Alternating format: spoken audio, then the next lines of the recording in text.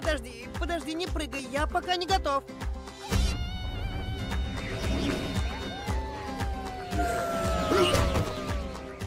Извините, мы не специально, только не рассказывайте папе! Мы уже 147 дней на ковчеге, а земля так и не показалась. Наше меню становится все скуднее. А это вот что? То же, что и вчера. А вот это вот. Это подгоревшее, что и вон то. М-м-м. Это вся еда, что у нас осталась?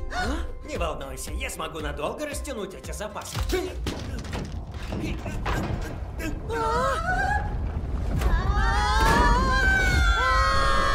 Дэйв, а где дети?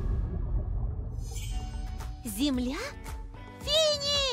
Наконец-то ты очнулся. Обалдеть, гнездовиха! Хватит уже тыкать меня. Мы построили колонию, чтобы гнездовики были в безопасности. Подальше от этих вечно голодных хищников.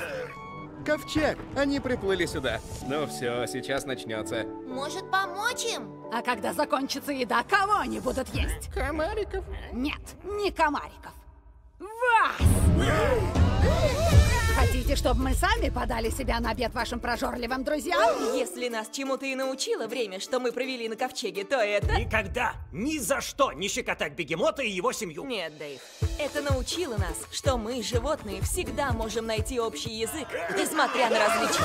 Новая глава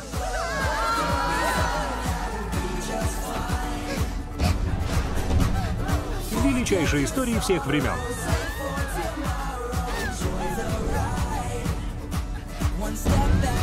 Упс, приплыли. Что вы сделали с ковчегом, звери? Вы разломали ковчег, чтобы сделать джакузи. Нет, мы разломали ковчег, чтобы сделать три джакузи. Расслабься. Повторите, пожалуйста.